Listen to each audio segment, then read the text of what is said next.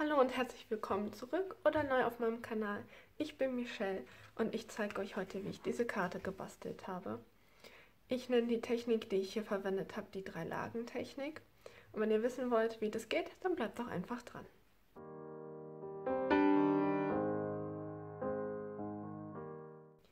Alle Maße findet ihr wie immer in der Infobox, denn wir brauchen heute doch einiges an Papier. Ich habe als erstes eine Karte in so einem Vanille Beige Ton in der Größe 17 x 10,9 cm. Dann ein passendes Designerpapier in der Größe 16,7 x 10,6. Das Ganze ist jetzt 3 mm kleiner, damit man einfach nachher noch diesen kleinen Rand auf der Karte sieht und nicht einfach alles mit dem gemusterten Papier verdeckt ist.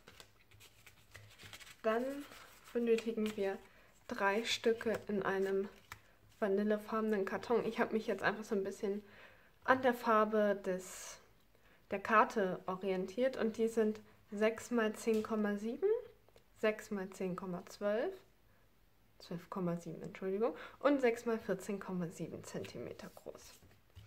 Und als Auflage dann weißen Karton und der ist jeweils 5 mm kleiner, also 5,5 mal 10,2, 5,5 mal 12,2 und 5,5 mal 14,2 cm groß. Dann habe ich mir heute einige Stempelsets ausgesucht.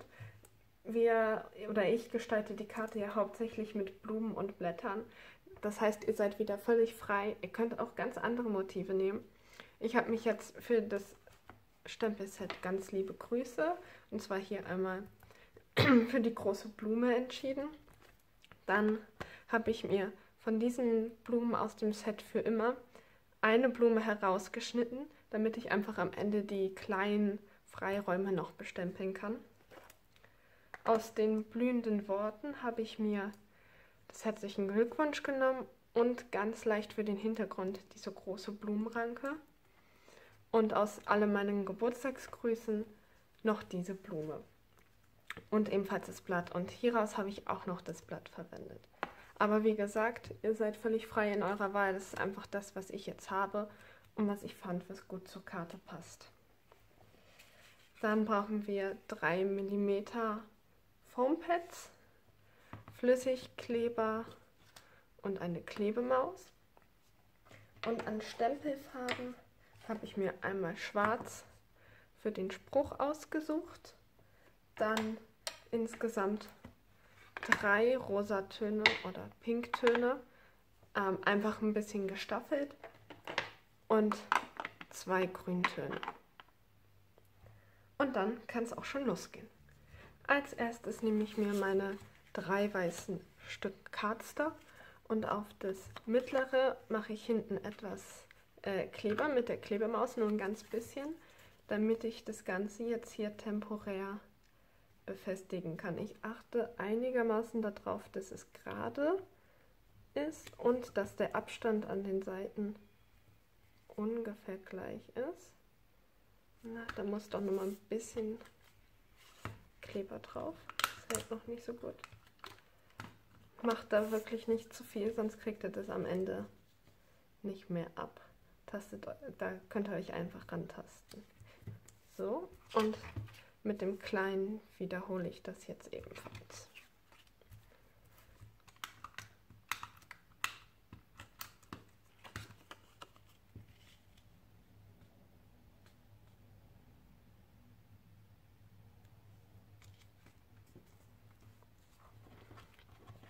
Und jetzt nehme ich mir einfach zur Vorsicht noch eine Stempelmatte.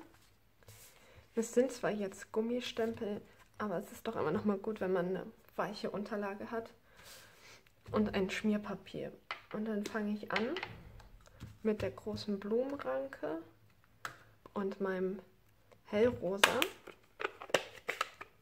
Und weil das jetzt ein relativ großer Stempel ist, mache ich den Stempel nicht aufs Stempelkissen, sondern andersherum. Und jetzt ist wichtig, stempel ich das Ganze zweimal ab und gehe dann erst auf meine Karte. Das ist jetzt wirklich ganz, ganz fein. Ich weiß nicht, ob man das überhaupt erkennen kann. Das soll auch wirklich nur dazu da sein, den Hintergrund ein bisschen ähm, ja, schon mal zu gestalten. Und das Ganze wiederhole ich jetzt nochmal.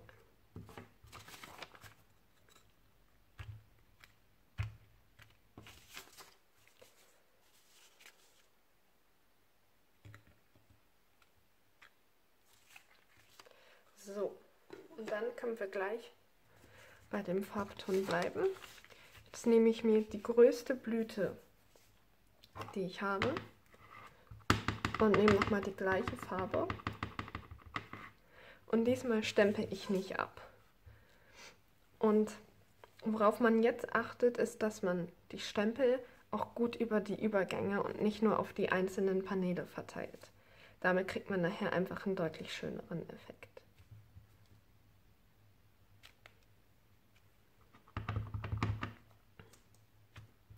Stempelt auch gerne über den Rand hier an den Seiten und oben und unten hinaus.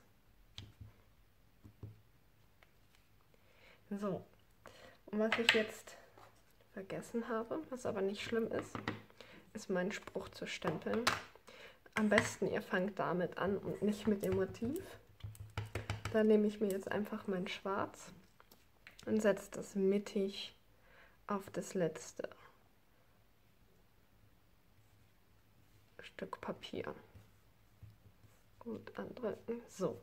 Und jetzt haben wir einfach die Sicherheit, der Spruch ist da und wir können alles drumherum gestalten. Jetzt nehme ich mir die nächste Blüte und mein etwas dunkleres Rosa und setze diese Blüte auf.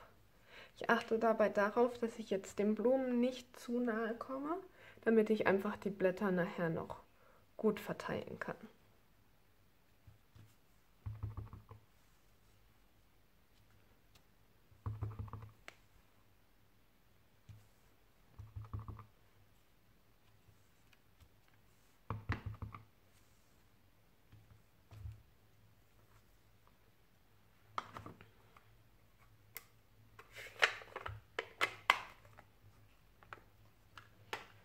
Und dann geht das auch schon an die Blätter. Ich nehme jetzt erstmal das größere von den Beinen und stempel das in meinem dunkleren Grünton.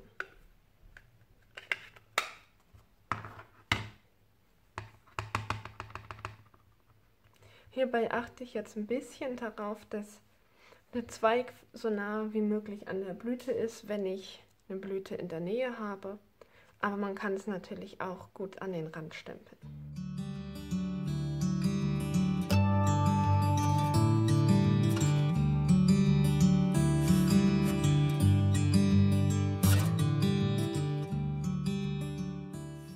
Als nächstes nehme ich mir das hellere Grün und mein kleineres Blatt oder meine kleineren Blätter. Und setze die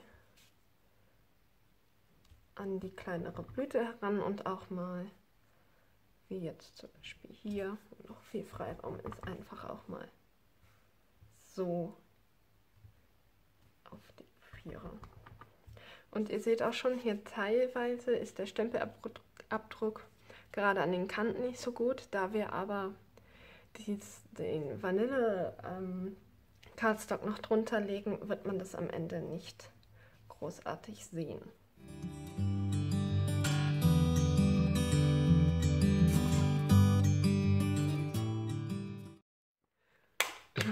Und als letztes nehme ich mir jetzt hier mein wirklich starkes Rosa bis fast schon leicht lila. Und da mir die Farbe jetzt persönlich zu stark für das Rosa und Grün ist, stempel ich die Blume einmal ab und setze die dann überall, wo noch Platz ist, in die Zwischenräume.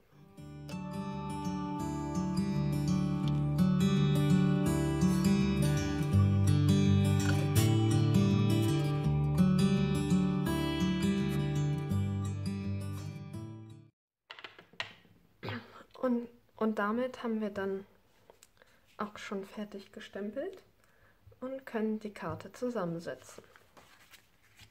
Dafür kann ich jetzt meine Stempelmatte weglegen und nehme mir meine drei Stücke in dem Vanilleton. Jetzt, weil ich so einen leichten Kleber bzw. nicht viel von dem doppelseitigen Kleber genommen habe, kann ich das relativ gut voneinander ablösen. Und mit meinem Flüssigkleber klebe ich jetzt die passenden weißen Stücke auf den vanillefarbenen Karton.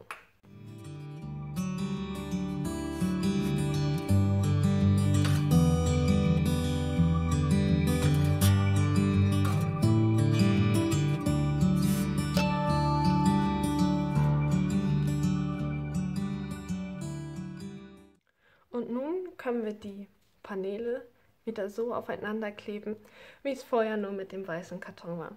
Ich achte dabei darauf, dass ich mir das vorher erst einmal anlege und schaue, dass der Abstand und die Motive jeweils gut zusammenpassen. Das ist ein bisschen Fummelarbeit, da muss man immer erstmal ein bisschen gucken, aber das geht. Und dann muss man natürlich schauen, dass man jetzt den Flüssigkleber nur auf der linken Seite und wenn man es umdreht auf der rechten Seite aufträgt, weil man sonst den Kleber überall auf seiner Arbeitsplatte hat.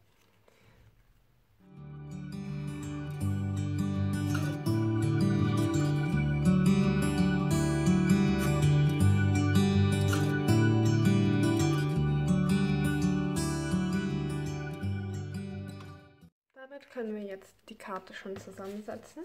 Das heißt, ich nehme meine Kartenbasis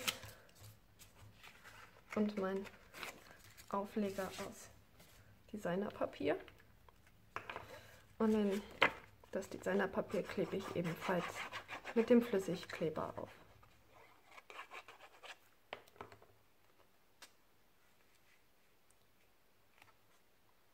Auch hier achte ich darauf, dass ich einen gleichmäßigen Rand bekomme und dann wird das Ganze einmal gut festgedrückt. Unser gestaltetes oder gestempeltes und zusammengesetztes Stück Papier kleben wir auf mit 3D-Foampads und dafür, die verteile ich jetzt einfach komplett über die Fläche. Wenn ihr dann die Folie von den 3D-Foampads entfernt habt, nehmt euch eure Karte und das Papierstück und dann lege ich das Ganze links an, lasse noch einen kleinen Rand von dem Designerpapier und klebe das Ganze auf. Drückt es ruhig an, damit die Foampads richtig halten. Und das war auch schon die Karte.